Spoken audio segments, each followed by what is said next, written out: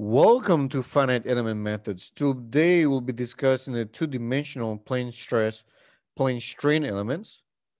So that's a simplification from 3D. And that's convenient. If we can model things as 2D, it will save us computational time. Uh, in two-dimensional elements, uh, we only have two equilibrium equations. And the only stresses of concern are sigma xx, sigma xy, and sigma yy. This is a lot simpler because now the equilibrium equations look a lot simpler. The differential operator is even simpler. I was using L bold earlier. In the previous lecture, we'll use partial this time. You can see the first row times that column uh, gives you the first equation. The second row times that first column gives you that second equation, and so forth. The three strain deflection relationships are provided here. You can see that the first column times the First row times that first column gives me the strain and so forth. You can see that this differential operator is the same one as that one, but is the transpose. We already discussed this. The only unknowns for 2D are just two deflections at every node. And the strains are basically partial of u respect to x, just like we had before uh, epsilon yy is just partial of v respect to y and partial xy, uh, which is a shear, is partial of u respect to y and plus partial of v respect to x. Very simple. The three equations in Hooke's law is sigma bold equals c bold times strain bold. C bold is this quantity here for plane stress. And in, in these cases for plane stress, what we're talking about here is thin structures. Uh, and for plane strain, the constitutive law that goes in here is slightly different. And that's meant for situations where the transverse strains are zero.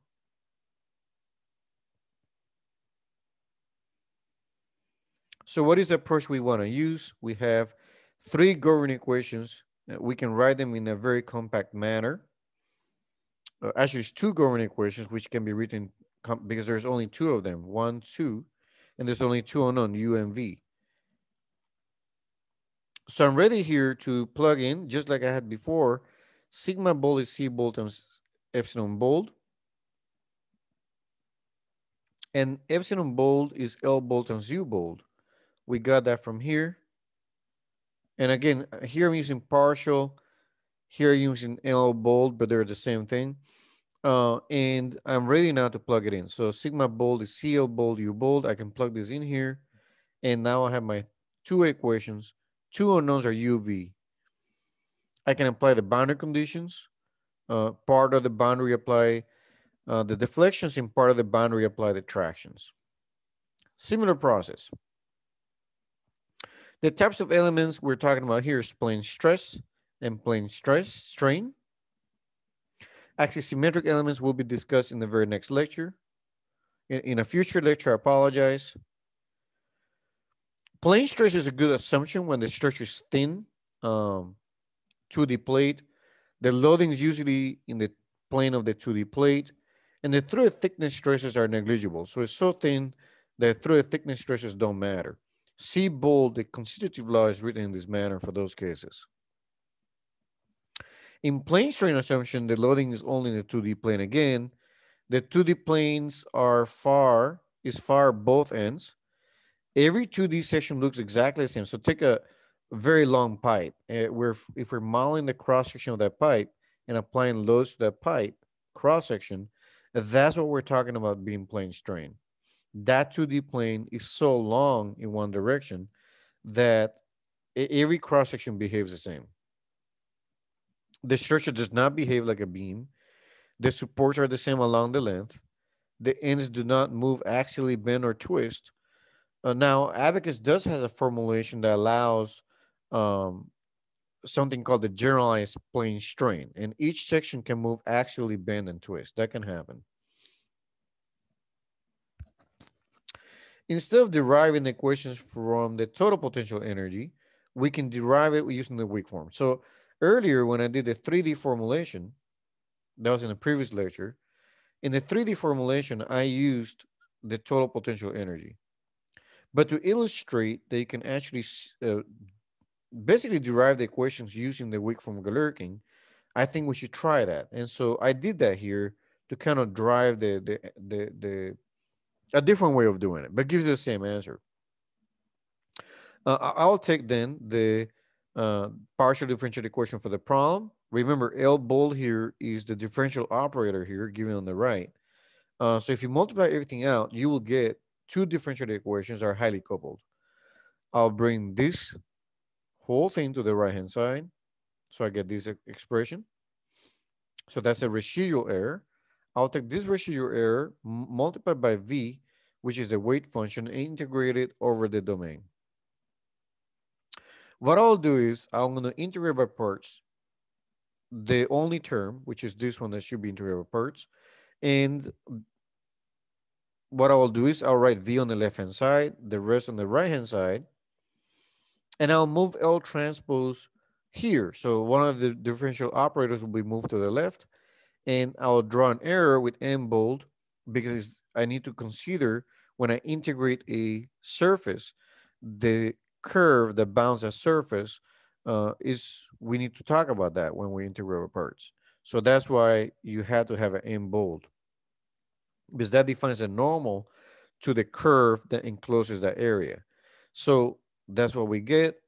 Uh, the bottom goes back into the integral, as you see there. You can see that here. L bold transpose V, C bold, L bold, U bold, right here. All that is written here. The minus times minus is plus, um, but everything else stays the same here on the left-hand side. Then I have the cross term. This cross term uh, is this one right here. Uh, you see V times CL bold, C bold, L bold, U bold times M bold, dot M bold. So that's the boundary term. Notice how L bold, U bold is strain bold, and C bold times C, strain bold is stress bold. And this is Cauchy's relationship. This allows you to relate the stresses at the boundary, the stresses inside the body to the boundary the tractions at the boundary. So beautiful. We're able to uh, show that this equation can be simplified so that this T-bold uh, superscript n, which means that uh, is acting at a location with a surface normal n. The integration of parts of an area gives you a curve that encloses the area. And that's why you see an integral here with respect to L, DL, um, because DL is a line element of the curve that's enclosing that surface area A. So that's a weak form. That's a weak form right here in a compact manner. H is the thickness, is small, but I kept it there. You can cancel it out. Um, and V is a, is a weight function.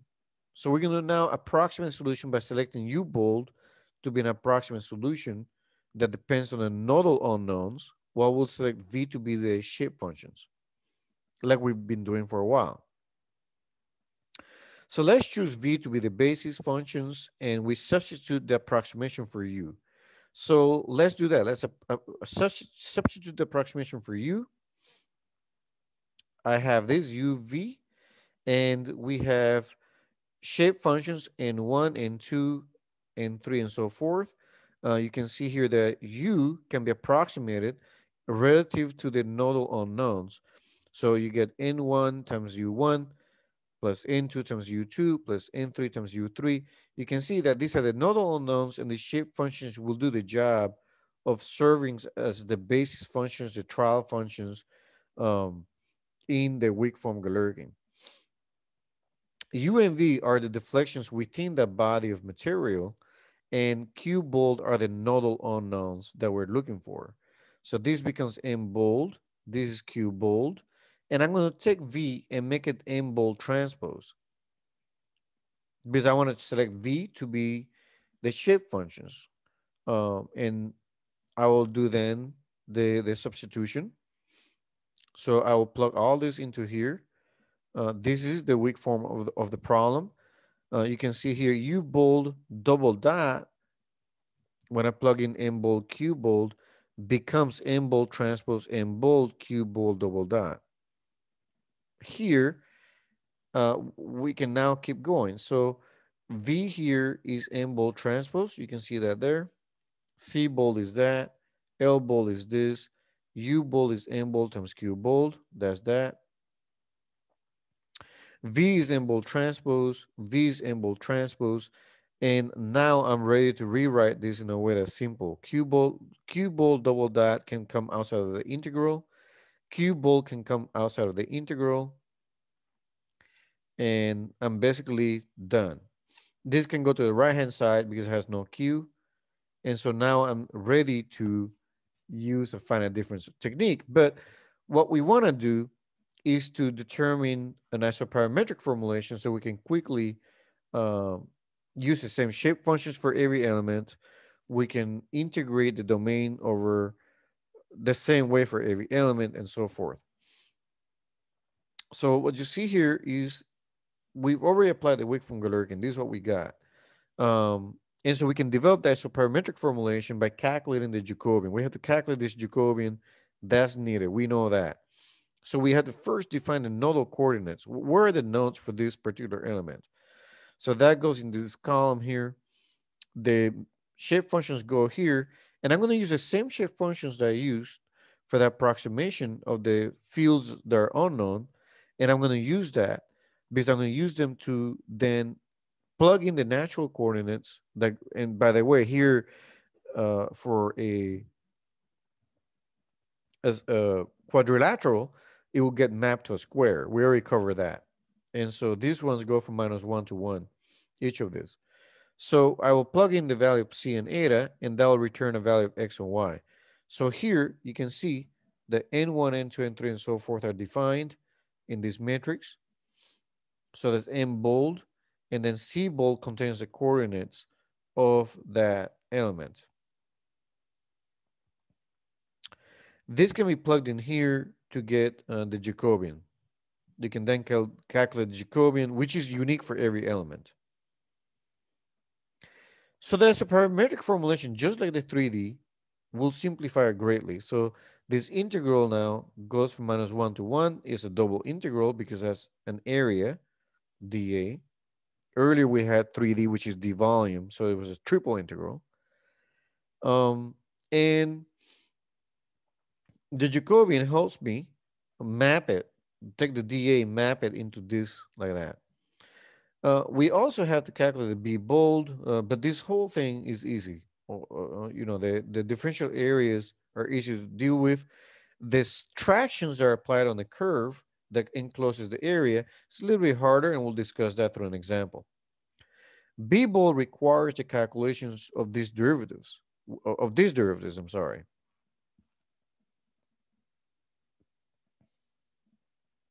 I covered that in 3D, so go back and check that out. But we have to calculate derivatives. I'll use the Jacobian, which I calculated in this step, to calculate these derivatives. Sorry, these derivatives are known. The Jacobian is known. So I should be able to calculate these derivatives because Ni does not depend on X and Y. They only depend on xi and eta. So I need a way of calculating these things, and I can do that by using the Jacobian.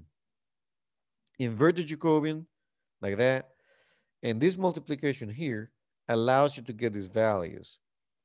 This right here is what will get then substituted.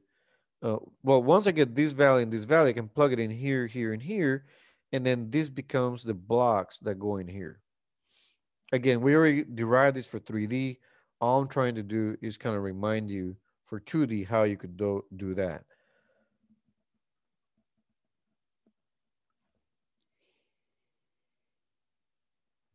For triangular element, uh, you have to be more careful. The integrals go from um, r equals 0 to 1 minus s and integral from s equals 0 to s equals 1. That's the only difference between quadrilateral, this quadrilateral element. So we turn the quadrilateral into a square. And that's why we have a double integral from minus 1 to 1. Here is a triangular element, right triangle. So you have to do the integral a little bit differently procedure is the same. Um, now we're using the RNS coordinate system, uh, but the, the idea is the same at the end of the day.